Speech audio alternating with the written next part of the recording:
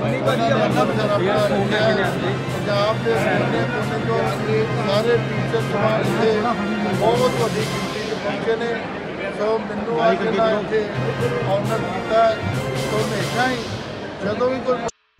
अध्यापकों को समाज में गुरु का दर्जा दिया गया है और इनके बिना देश का विकास असंभव है और अध्यापकों की बड़ी जिम्मेदारी बनती है कि वह बच्चों को गुणवत्ता भरपूर शिक्षा प्रदान करे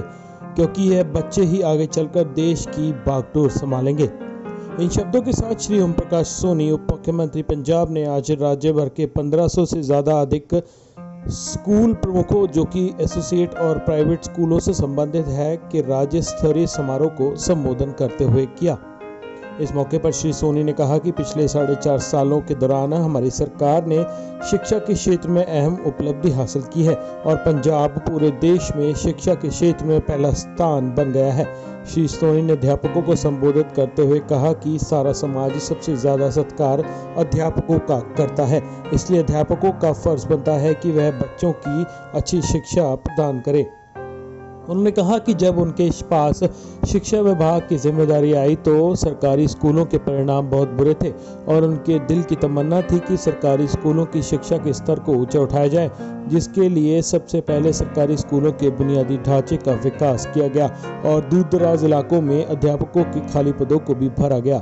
उन्होंने इसके निष्कर्ष के तौर पर अगले साल सरकारी स्कूलों के नतीजों में काफ़ी सुधार देखने को मिला है श्री सोनी ने कहा कि वह जो कुछ भी आज हैं वह अध्यापकों की वजह से है और अध्यापक ही देश का असली निर्माता है देखिए अमृतसर से नरेंद्र सिंह सेठी की ये रिपोर्ट ਸੋਨੀ ਸਾਹਿਬ ਕਿਹੜਾ ਅੱਜ ਪ੍ਰੋਗਰਾਮ ਹੈ ਅੱਜ ਐਸੋਸੀਏਟਡ ਸਕੂਲ ਜਿਹੜੇ ਨੇ ਪੰਜਾਬ ਦੇ ਉਹਨਾਂ ਦਾ ਬਹੁਤ ਵੱਡਾ ਫੰਕਸ਼ਨ ਸੀ ਪੰਜਾਬ ਲੈਵਲ ਦਾ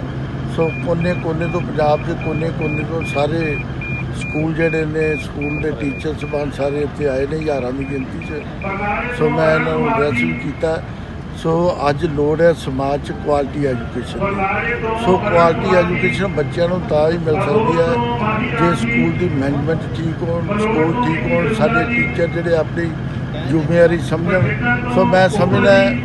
ਜਿੰਨੀ ਜ਼ਿੰਮੇਵਾਰੀ ਨਾਲ ਇਹ ਕੰਮ ਕਰ ਰਹੇ ਨੇ, ਸੋ ਸਾਡੇ ਪੰਜਾਬ 'ਚ ਜੋ ਐਜੂਕੇਸ਼ਨ ਦਾ ਇਸ ਵੇਲੇ ਪੱਧਰ ਆ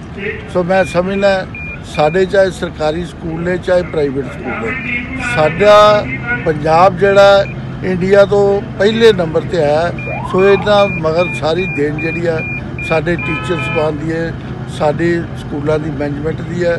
ਚਾਹੇ ਸਰਕਾਰੀ ਸਕੂਲ ਨੇ, ਚਾਹੇ ਪ੍ਰਾਈਵੇਟ ਸਕੂਲ ਨੇ। ਸੋਨੀ ਸਾਹਿਬ, ਡੇਂਗੂ ਬੜਾ ਫੈਲਿਆ ਸਕੂਲਾਂ ਦੇ ਸਹੂਲਤਾਂ ਮੈਡਮ ਸਮਝਾਏਗਾ ਬੱਚਿਆਂ ਵੇਖੋ ਅਸੀਂ ਹਰ ਤਰ੍ਹਾਂ ਦੇ ਡੇਂਗੂ ਦੇ ਅਰੇਂਜਮੈਂਟ ਕੀਤੇ ਨੇ।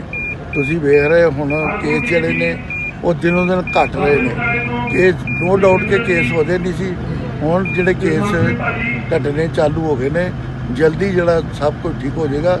ਵੈਸੇ ਸਰਕਾਰ ਵੱਲੋਂ ਹਰ ਤਰ੍ਹਾਂ ਦੇ ਡੇਂਗੂ ਦੇ ਅਰੇਂਜਮੈਂਟ ਕੀਤੇ ਗਏ